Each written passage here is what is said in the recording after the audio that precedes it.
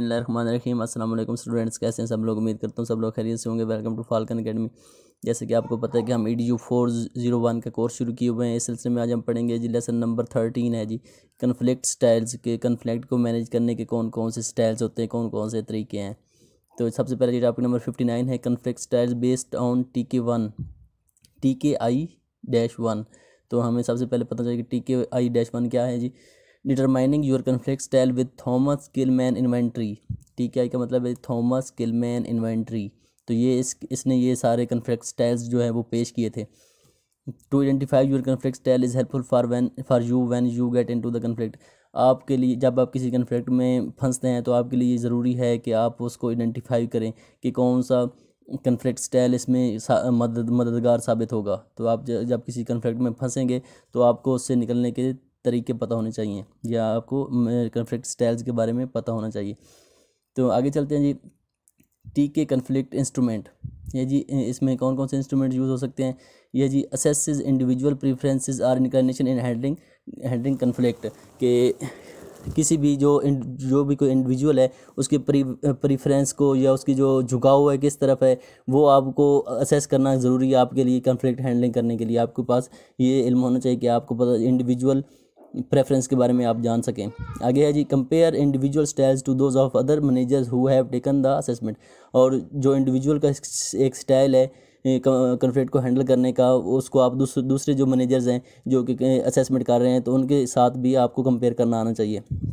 तीसरा है जी suggest ways to most effectively use and expand your repertoire of conflict management skills there are five stage to this tool तो आपने मुख्तलिफ़ किस्म के तरीके सजेस्ट करने हैं उनको जो कि इफ़ेक्टिव हों। कन्फ्लिक्ट मैनेजमेंट के मुख्तलिफ़ तरीके आपने सजेस्ट करने हैं किसी भी कन्फ्लिक्ट से निकलने के लिए। और इस हिसाब से वो हैं कि जो पाँच मुख्तलिफ़ किस्म के स्टाइल्स हैं जो कि कन्फ्लिक्ट मैनेजमेंट में यूज़ होते हैं। पहला है जी कंपीटिंग दूसरा कैलिब्रेटिंग है, तीसरा कंप्रोमाइजिंग है, चौथा अवॉइडिंग है, पाँचवा अकोमोडेटिंग है। तो ये पाँच तरीके के मुख्तलिफ़ स्टाइल्स हैं। आगे जी let's see these five styles in detail आगे वो हैं कि इन स्टाइल को हम डिटेल में देखते हैं। This can be understand in relation to cooperativeness and assertiveness तो इसको हम देखेंगे इन इन इन, पाँच स्टाइल्स को हम देखेंगे किस रिलेशन कोऑपरेटिवनेस और असर्टिवनेस के लिहाज से हम देखेंगे इन पाँचों स्टाइल्स को। These two variables have range from being cooperative to uncooperative and from assertive to unassertive के ये जो स्टाइल्स हैं हम इनमें रेंज के हिसाब से देखेंगे कि कौन सा कौन से स्टाइल में कोऑपरेटिवनेस ज़्यादा है अनकोऑपरेटिवनेस ज़्यादा है या इसमें असर्टिव अजर्टिव ज़्यादा या या अनअजर्टिव ज़्यादा है। तो सबसे पहले है जी competing it goes like might makes right ये इसका, ये जो कम्पीटिंग है, इसका मतलब ये होता है कि ये देखता है कि क्या चीज़ें दुरुस्त सिमत में जा रही हैं। उनको ये चीज़ देखते हैं कम्पीटिंग और it is high on assertiveness and low on cooperativeness तो हमने ये इन दो डिग्रीज के हिसाब से देखना है। ये अजर्टिवनेस के हिसाब से तो ये हाई है, लेकिन कॉपरेटिव इसमें नहीं होती कम्पीटिंग में। कॉपरेटिव में ये लो है। तो ये था पहला, आगे दूसरा जी अकोमोडेटिंग है जी। Kill your enemies with kindness कि आपने काइंड काइंडनेस के ज़रिए खुश के ज़रिए आपने अपने दुश्मन को मार देनी है। तो तब आपने अकोमोडेटिंग यूज़ करना है। It is low on assertiveness and high on cooperativeness इसमें कोऑपरेटिवनेस हाई होती है, लेकिन अजर्टिवनेस इसमें लो होती है। तीसरा जी avoiding leave well enough alone कि आपने सबको तनहा छोड़ना है। इस, इसमें आपने सबको तनहा छोड़ना होता है। इसमें आपने सबको तनहा छोड़ना होता है और नेक्स्ट है जी, और ये भी इसका भी it is low on assertiveness and and it is low on assertiveness and low on cooperativeness ये दोनों में लो होता है। और आगे जी पाँचवा collaborating two heads are better than one के हमेशा दो जो होते हैं वो एक से बेहतर होते हैं। कैलिब्रेशन का मतलब भी ये है कि आपने आपस में कॉपरेट करना है। It is high on assertiveness and high on cooperative इसमें कॉपरेटिवनेस और असर्टिवनेस दोनों हाई होती हैं। आगे जी कंप्रोमाइजिंग सेपरेट द डिफरेंस आपने जो डिफरेंस है, उसको सेपरेट करना है, उसको अलग अलग करना है। उसके बाद it is the moderate on assertiveness and moderate on cooperativeness इसने, इसमें कॉपरेटिवनेस भी दरमियानी होती है और अजर्टिवनेस भी दरमियानी होती है। विच स्टाइल इज़ बेस्ट और फिर कौन सा स्टाइल सबसे बेस्ट है? Most people use all at various times most people naturally prefer one style situation culture person uh, personality can influence the best style at, at a given time. All styles वो कह कि तमाम जो styles हैं ये सारे ये useful हो सकते हैं लेकिन किसी भी एक टाइम पे आपको एक स्टाइल यूज़ करना चाहिए। सिचुएशन के हिसाब से आपने इनमें से कोई भी स्टाइल है उसको यूज़ करना है। आगे वो बता रहा है कि different styles have different goals वो कह रहा है कि मुख्तलिफ़ स्टाइल के मुख्तलिफ़ गोल्स होते हैं। कंपीटिंग का क्या होता है? The goal is to win जब विन करना हो तो कंपीटिंग आपने करना है और अकोमोडेटिंग होता है the goal is to yield avoiding जब आपने अवॉइड करना हो तो आपने आपने अकोमोडेटिंग करना है। The goal is to delay जब आपने डिले करना हो तो आपने कैलिब्रेटिंग करना है। और मल्टीपल पार्टिसिपेशन हो तो आपने कंप्रोमाइजिंग करना है। The goal is to find a middle ground जब आपने मिडल ग्राउंड दोनों को दोनों को खुश पार्टीज़ को खुश करना हो तो आपने कंप्रोमाइजिंग करना है। और वैन कम्पीटिंग इज़ इफ़ेक्टिव जब आपने किसी एक बंदे को, या आपने जीतना हो तो फिर आप कम्पीट कम्पीटिंग करेंगे। आगे जी अकोमोडेटिंग इज़ इफ़ेक्टिव ये आगे वो इफेक्टिवनेस बता रहा है कि कब कब क्या चीज़ को कब इफ़ेक्टिव होगी। वैन यू आर रॉन्ग जब आप गलत हो when learning is important learning important और when demonstrating reasonableness is critical when critical goodwill is paramount तो ये अकोमोडेटिंग इफ़ेक्टिव होगी जब ये सिचुएशन आपकी होगी और वैन हारमोनी इज़ इंपॉर्टेंट जब हारमोनी इंपॉर्टेंट होगी, या when it's important for others to learn from experience जब जब दूसरों के ज़रूरी हो कि वो एक्सपीरियंस से सीखें तो आपने अकोमोडेटिंग को इफ़ेक्टिव करना है। अगर अवॉइडिंग कब इफ़ेक्टिव होगी? When the issue is relatively trivial when the issue is relatively trivial when you know you can't be satisfied और अवॉइडिंग जो होगी, जब आप लोगों को सेटिस्फाई नहीं कर सकते तो आप बेहतर अवॉइड करें। तो ये आपने देख लेनी है एक दफ़ा सारी।